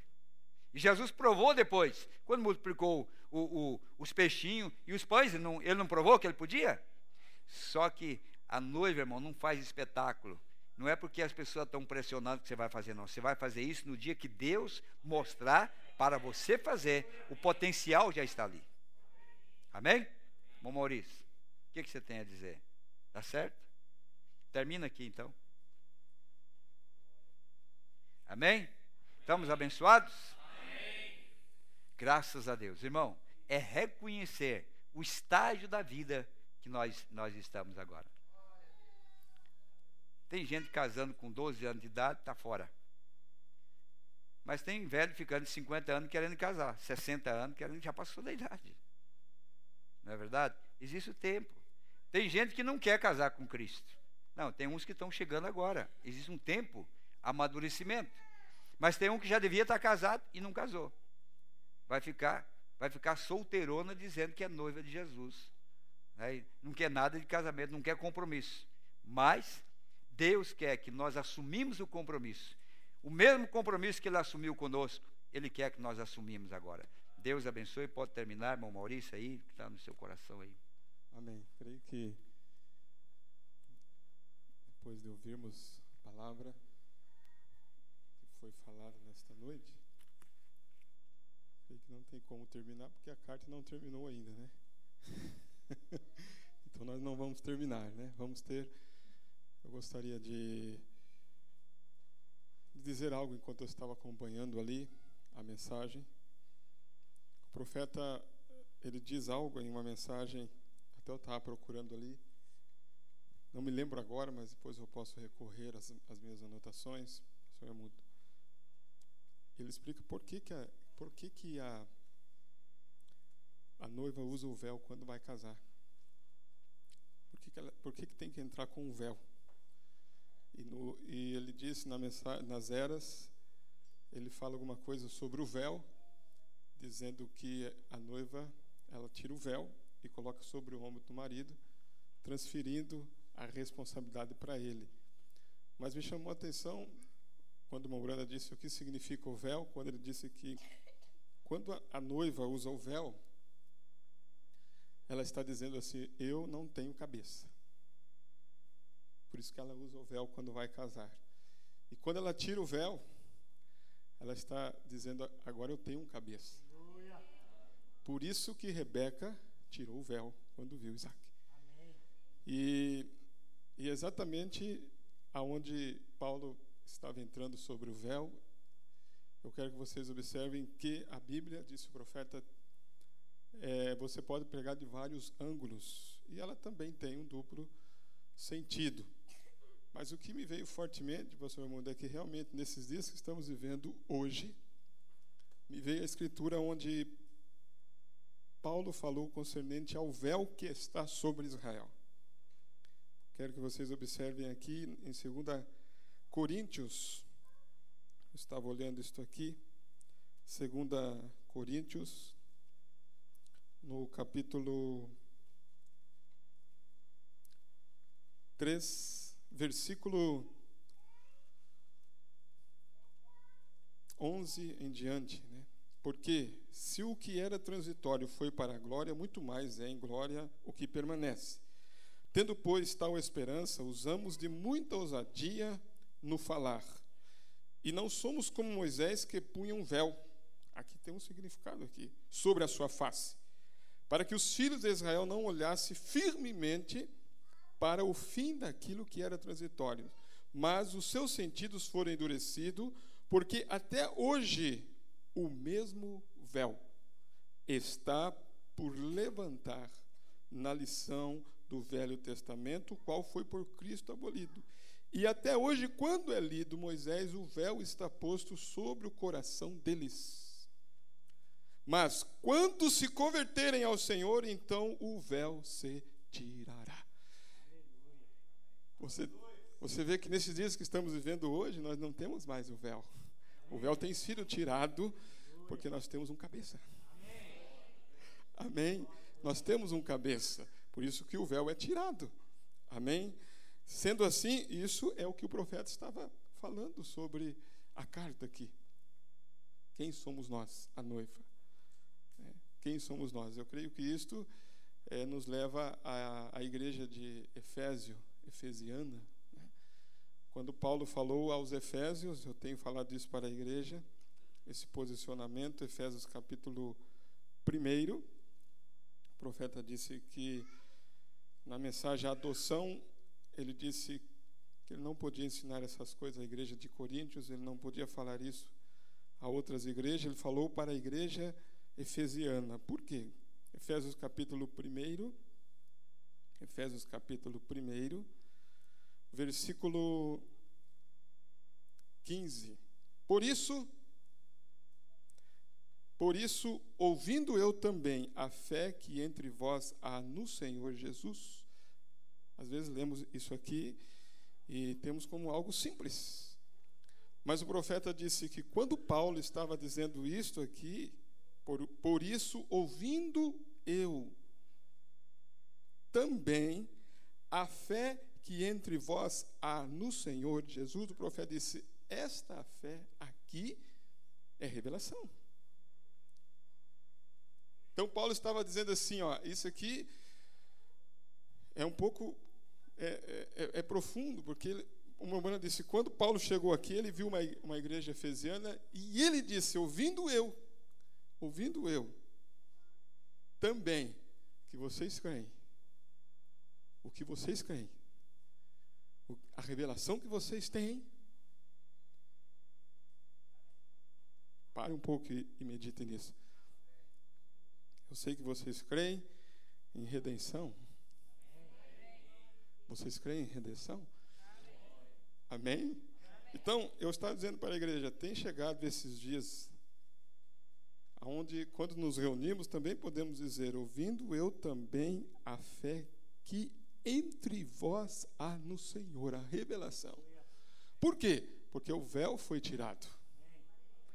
Amém? Ouvindo eu isto, ele disse: E o vosso amor para com todos os santos, não cesso de dar graças a Deus por vós. Porque o profeta disse na mensagem: ouvindo, é, ouvi, mas agora vejo, ele disse que a maneira que Moisés pôde ver a promessa que foi dada a Abraão foi na sarça. Ele cria, ele tinha ouvido, mas quando ele viu a sarça, como Brando disse, ele pôde ver manifestado ali, quando Deus falou com ele, a promessa que foi dada a Abraão. E a maneira de ver a igreja efesiana hoje é através da manifestação. Olha isso, é, é, é o cumprimento, é ver que ela é Ele. Manifestado nesses dias. Aí você vai dizer: Eu ouvi, mas agora vejo. Amém? Deus abençoe. Em nome do Senhor Jesus Cristo, como eu disse, eu não estou terminando, mas é, a gente, como ministro, vê outro pastor pregando, a gente vai recolhendo e, e, vai, e, e muitas coisas vêm. Né? Mas como eu não sou pregador, é só algumas coisinhas realmente daquilo que eu estava ouvindo. E eu digo, pastor Raimundo, que sobre o véu, sobre, o, sobre o véu, Muito sobre bom. o véu, é, eu não preguei isso ainda, mas eu tenho anotado lá. E hoje foi que me abriu isso. Hoje, eu estou falando isso a nível de internet eu, eu, respondo pelo que eu estou dizendo diante de Deus. Sobre o véu. Sim. Porque eu já li o Mombrana fala, eu tenho anotado ali, o Mombrana falando sobre isso, que o porquê tinha o véu. Aí, quando o senhor citou a escritura e está falando sobre Cristo e a noiva e sobre o casamento, só tira o véu. É. Pois casado, quando diz assim, eu tenho cabeça agora. Exatamente. Amém. Glória a Deus. não reconhece que você tem um cabeça, o véu não, não é tirado. É, ainda está. Como está nos judeus. É, como está lá. Exatamente. Amém? Então, muitas coisas tem aí. Deus abençoe. Amém. Graças a Deus. Amém. Estamos abençoados. Ah, estamos tranquilos, amanhã é feriado mesmo, né? Tem tanta pressa, né? Quem que vai trabalhar amanhã? Levante a mão. A irmã, o irmão Paulo, quem mais? Quem mais? o irmão Miguel. Ah, muita gente vai trabalhar, ganhar um pouquinho mais no feriado, né? Obrigado, né? Mas graças a Deus. Cadê a lista dos participantes? Veio? Tem aqui? Ah, está lá em cima. Tá. Esse monitor está um pouquinho escuro, mas ah, agora melhorou um pouco aqui. Vamos ver aqui. Olha, muita gente nos acompanhou. Viu, meu Maurício? Você pregou aqui, muita gente escutou, viu? Tem os, tem os ouvintes os ouvintes que declaram e tem os ouvintes secretos, né? E até até Elias ficou preocupado, mas só tem eu aqui. Deus não, tem uns secretos por aí guardados em muitos lugares aí que não se dobraram também não. Então lá. Modemir e família em Toledo, Mó Otávio, Nair, Toledo, Maria de Fátima e irmã Ana, Toledo, Mó Lorival de família em Toledo, Mão Luiz Dias e família em Cascavel, Mão Juraci e família em Londrina, é, Mão Juarez, irmã Cladira em Enéas Marques, Mãe Guilmar, irmã Maria em Guaíra, Mãe Lídia em Curitiba, Mãe Tatiana Dal Comune, Curitiba, irmão Paulo Castilho e família em Pinhais, irmão Mateus Maia em Pinhais, irmão Paulo e irmã Daiane em São José dos Pinhais, irmã Diva dos Anjos em Ponta Grossa, irmã Lindalva em Guaíra, irmão Marcos e família, Marcos Maia e família, né? Irmão Alifas, irmã Mônica em Macaé, Irmã Maria, pastora e família em Juiz de Fora. Irmã Valdirene família em Porto Feliz. Irmão Tiago, irmã Rosane em Novo Hamburgo. Irmão João Gomes em Camboriú. Irmão Luiz Carlos Santos em Itajaí. Irmão Kleber Pereira em Goiânia. Irmão Alodir Cardoso e família em Camboriú. Irmã Maria Aparecida em Ferraz de Vasconcelos. Irmão Juliano da Silva e Luan em Brusque. Irmã Cirlei em Passos. Eu agradeço, irmã, a sua carta é, agradecendo seu e-mail, agradecendo a, a, conquista de vocês, nós ficamos alegres. É, a irmã Ana Lídia em Gravataí, a irmã Margarete, a irmã Sabrine em São Leopoldo, a irmã Sara e família em Mogi das Cruzes, o irmão Irineu em Redenção, deve ser Pará, irmão Antônio Barabas em Turvo, irmão Silvio Mendes e família em Foz do Iguaçu. Terminou? Muito bem. Esses foram os que participaram conosco em mais esse culto abençoado. Amanhã nós vamos ficar em pé. Amanhã estaremos indo a Joinville. Não teremos o culto aqui sábado, não será transmitido, não teremos culto, mas domingo à noite nós estaremos aqui, se Deus quiser. E vamos ver se nós trazemos alguns pastores que estão voltando por aí, nós trazemos na igreja no próximo domingo. Ah, a irmã Sandra Mara agradece a Deus por mais um ano de vida completado, seu filho Christian Marcelo. O irmão Gilson família de Toledo também acompanhou. E lembrar de orar, nós vamos orar hoje, de hoje para amanhã, uma hora da manhã, vai sair o ônibus de Toledo, umas 40 e poucas pessoas, para a reunião em Joinville. O motorista é o irmão Gilson, é um cristão. E eu creio que vai ser uma viagem muito abençoada, é, muitas bênçãos de Deus através do povo que estará vindo, mas vamos continuar orando por eles, amém? Querido Pai Celestial, nós te agradecemos por mais esta bênção, mais esse culto, mais uma vez podemos invocar o teu nome, na certeza de que o Senhor nos ouve, porque assim como a rainha Esther pôde parar a matança que estava determinada contra os judeus, nós também, como tua esposa, podemos determinar, Pai, o fim da doença no corpo doente, dos problemas entre as famílias, como nós colocamos o irmão Luquemba e a sua família diante de Deus mais uma vez, confiante nessa grande vitória no amor em Cristo Jesus, Pai. E agora, ó Deus, por nossos ouvintes, participantes, que o Senhor abençoe, guarde, agradecemos por esse aniversariante, agradecemos por sua presença, que nos dê uma boa noite e abençoe os irmãos que estão vindo de Toledo, saindo agora de madrugada. Dê uma boa viagem. Abençoe o irmão Gils, que estará conduzindo este ônibus, guardando pelos caminhos, Pai. E cada alma que ali está, valiosa diante de Deus, sejam ricamente abençoados. No nome de Jesus. Abençoe o irmão Maurício, sua esposa, sua família e seu ministério e seu povo também, Pai. Em nome de Jesus pedimos. Amém. Deus vos abençoe. Pois não? Tem? Tem o. Aqui tem o. Falar, né? O meu sósia aqui, ele, ele, não deixa eu esquecer de, de, de, anunciar. Ele vai ter uma boa notícia. Quando você vê o jogo aí levantar assim, é uma, é uma boa notícia. Boa, né? é. Porque bater não bate mesmo, mas é uma boa notícia. É, é só um recado aqui, irmãos, é, que nos passaram aqui, o irmão Pedro, que se alguém deseja ir a Joinville, aqueles hotéis ali estão lotados da, do site. Tem um hotel aqui. Pode escrever ali, irmão. Tiago, ele escreveu, né? É Pertuti. Eu acho que é Pertute. Aqui está com E, irmão Tiago. É Pertute. É, e ali está os telefones. O preço é 100 reais o duplo, né? O casal. A diária, com café da manhã. É a 5 minutos do local do evento ali, de carro, muito perto.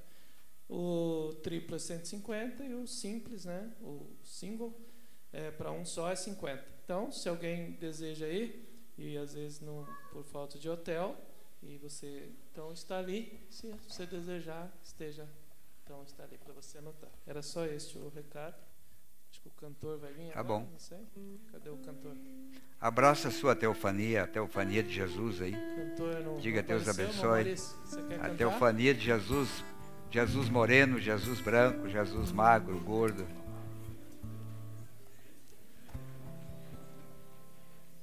Tem a letra aí do hino por sua palavra?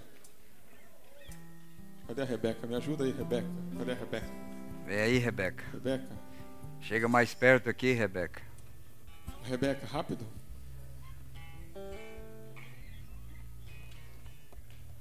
Vamos cantar este hino, né? Foi pregado. Deus te abençoe. Deus te abençoe. Deus te abençoe. Deus te abençoe. Deus te abençoe. Oi, Deus te abençoe. Deus te abençoe. Deus te abençoe.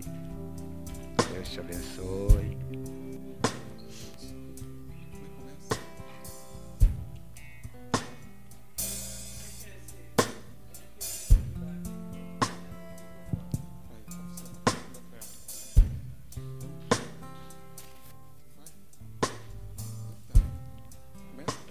Ajudar. Vai, aumenta um pouquinho aí.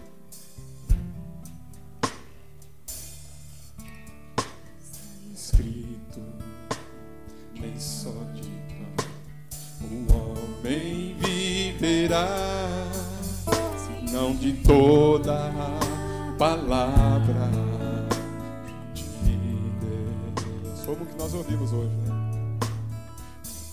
Por sua palavra ao seu filho no Calvário, pagou o preço do pecado por ti por mim. Por sua palavra, por sua palavra, Ele deu vida. sua palavra.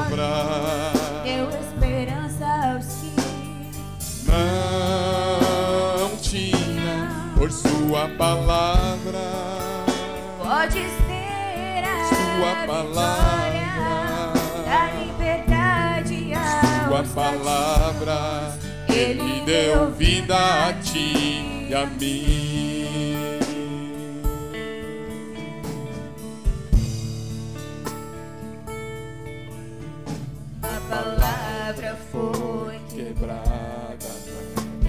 Por isso caiu a criação, mas tomará cada palavra para regressar a Deus. E por essa mensagem, toda palavra tem sido revelada. E através de seu poder vamos vencer. Então cante sua palavra. chamou a existência Por sua palavra. Tormenta regressa ao teu lugar. Peixinho, Peixinho, Jesus te dá vida por sua palavra. Ele fez desaparecer Por sua palavra. Deu salvação a Por sua dois palavra. A mim.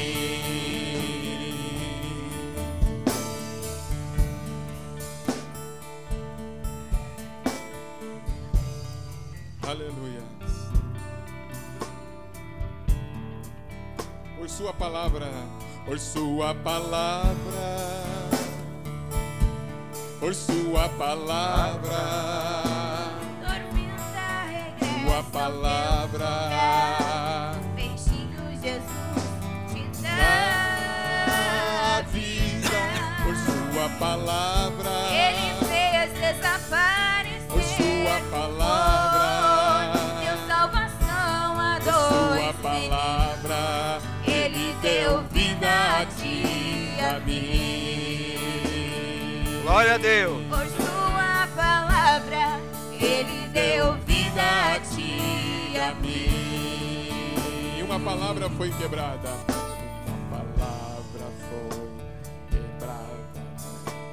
Por isso caiu a criação, mas tomará cada palavra para regressar. Para regressar Aleluia. E Por esta mensagem toda palavra tem sido revelada. E através Manifeste seu poder, vamos vencer.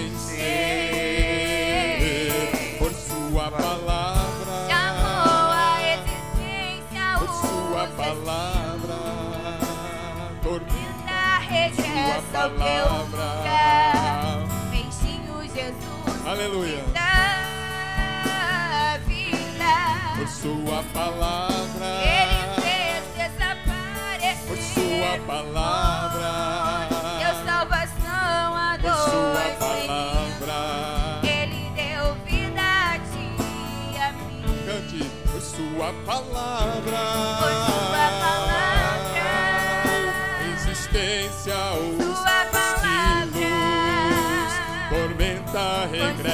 palavra. Beijinho Jesus te dá a vida. Sua palavra. Ele fez desaparecer Sua o palavra. Deu salvação às dores palavra. Ele deu vida a ti e a mim. Por sua palavra. Por sua palavra, Ele deu vida a ti e mim. Por sua fé